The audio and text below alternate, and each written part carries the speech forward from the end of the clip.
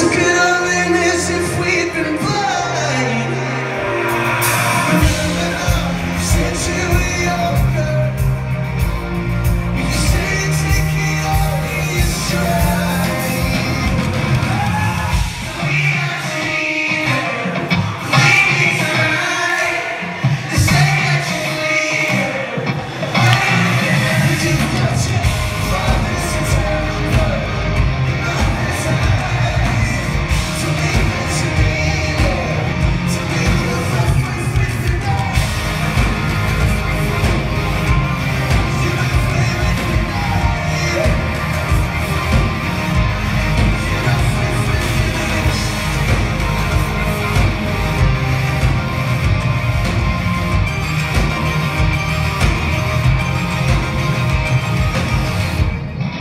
you very much.